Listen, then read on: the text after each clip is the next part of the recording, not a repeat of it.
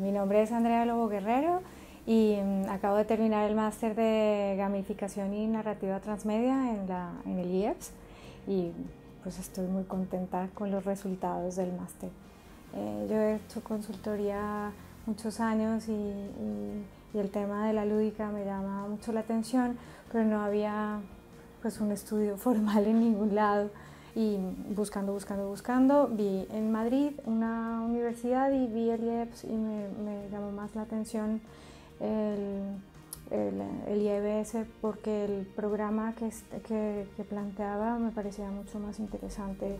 menos dedicado solamente al diseño de juegos, que no es lo que yo estaba buscando, sino que quería tener un conocimiento un poco más global, no solamente de videojuegos, que no es mi campo, sino de eh, herramientas que me sirvieran para poder utilizar la lúdica dentro de mis procesos de consultoría.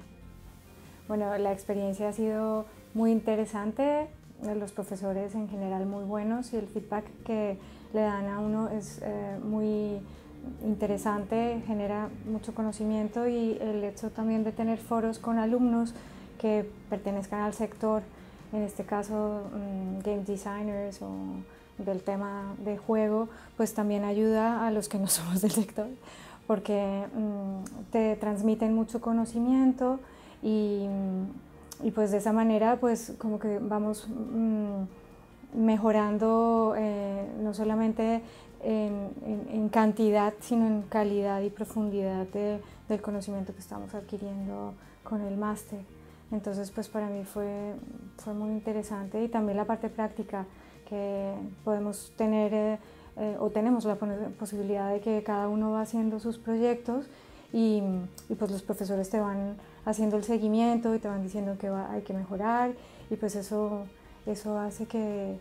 que no sea como tan solo la idea que uno tiene de es online, es solo leer y ya está, sino que también eh, pues ves que puedes hacer cosas reales y funcionan y no tienes que estar viniendo a un espacio físico para tener un profesor ahí que te esté diciendo haz las cosas o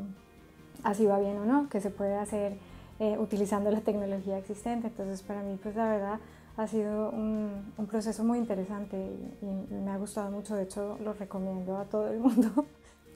Pues a nivel personal para mí ha sido un logro muy interesante porque he avanzado en, en conocimiento, en manejo de nuevas herramientas y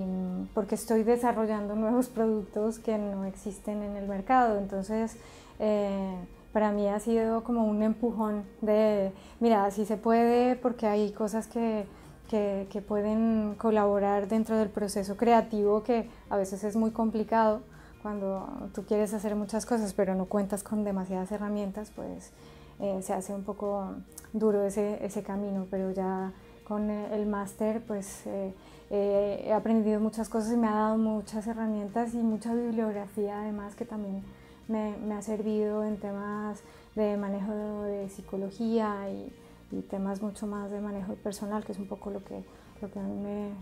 me interesa. Y, y pues me, me, ha enriquecido eso y me ha permitido pues desarrollar productos ya físicos que funcionan y que se, todavía los estamos probando, pero, pero que ya tengo algo físico funcionando. Entonces realmente me ha ayudado en eso y en que probablemente en breve eh, saldremos ya al mercado con, con productos elaborados ya completos.